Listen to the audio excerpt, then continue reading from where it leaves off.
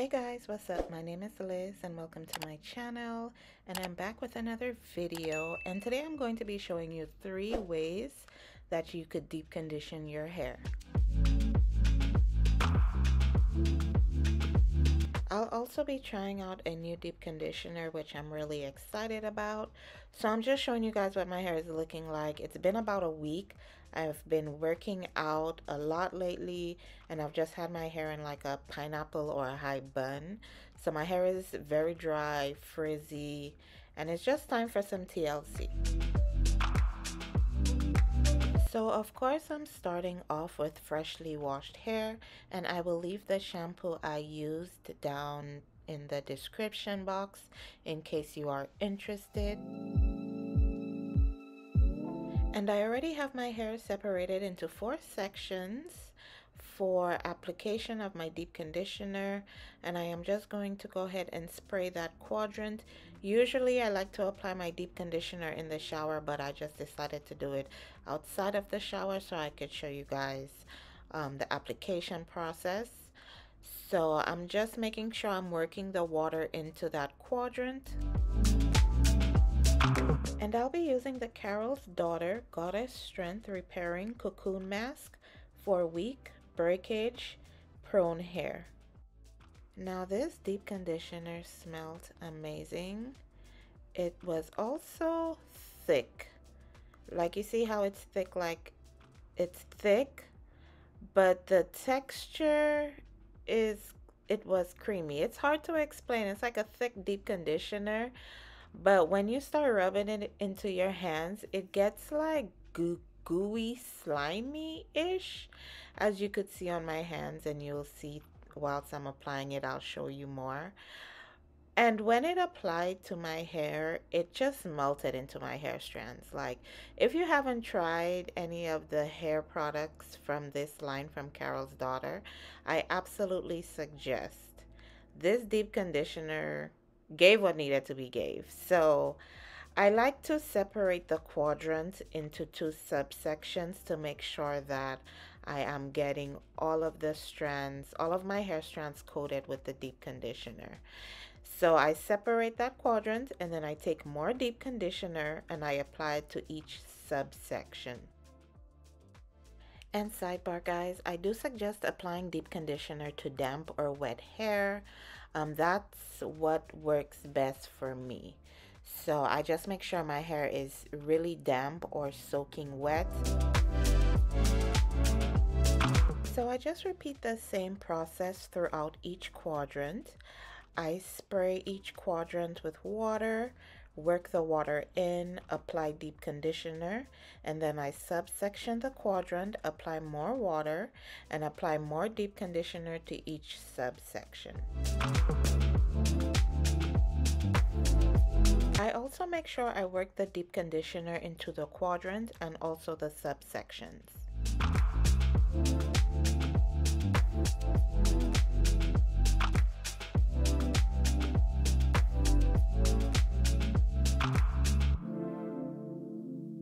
After applying the deep conditioner to all four sections, I'm going to go back to that first section so I can detangle and really make sure that the deep conditioner is thoroughly worked through that quadrant. Now, also remember when you're detangling your hair, you want to make sure that you're starting from the bottom and working your way up to the top.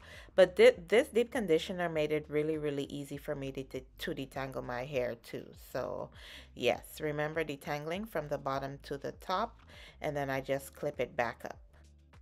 I'm also using a wide tooth comb to detangle, which is what I suggest, but of course, use what works for you. And I do the same to the next three quadrants. Okay, so now that we're done detangling all four quadrants, I'm going to show you the first way you can deep condition. So you just put on a shower cap. If you do not have a shower cap, you can use a Walmart or Target bag, whatever you have on hand. I've used both and you just let it sit like this for 15 to 20 minutes. Now the shower cap, the purpose is to trap in heat to help the deep conditioner penetrate better into your hair strands. And if you really want to intensify this method, you could add a beanie or even a towel or a t-shirt over the shower cap to trap in even some more heat. And I've done this numerous times before. The second way you can deep condition is using a hooded dryer.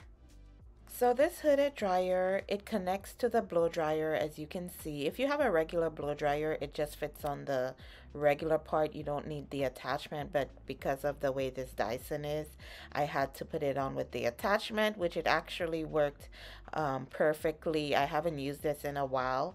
I used to deep condition like this for years.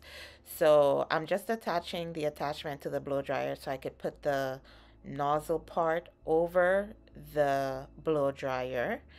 And um yeah it's a low-key struggle. But if you have a regular blow dryer it'll be even easier. So you put the hooded part over your head. You make sure it's secured.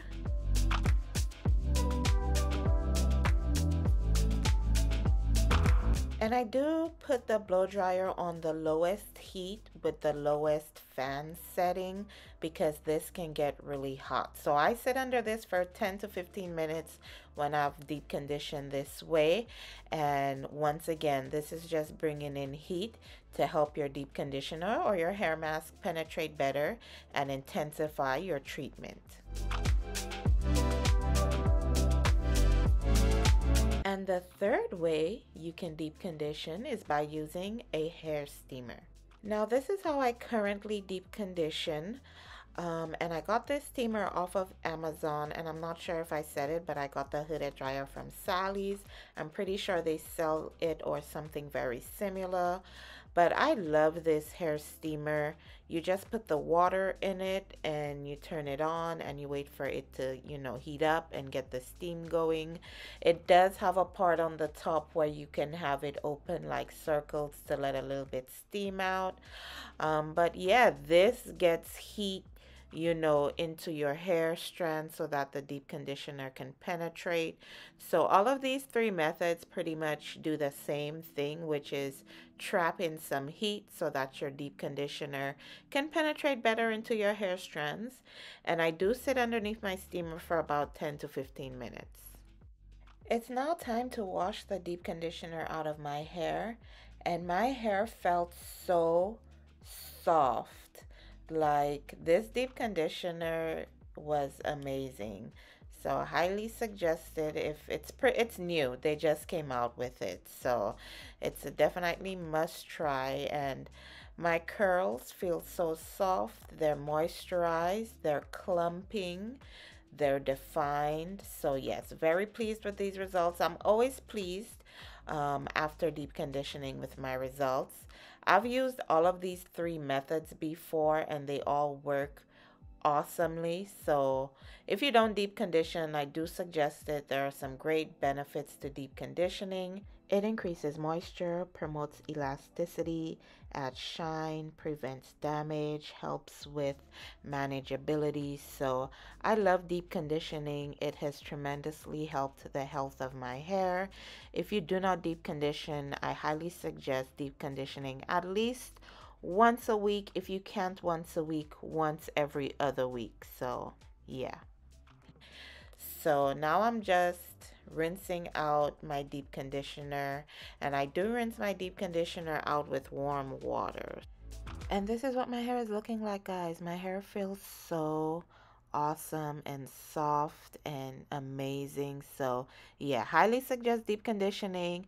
And this is the end of the video guys. I want to thank you guys so much for watching. Please like comment and subscribe and support your girls channel. And i will see you in the next video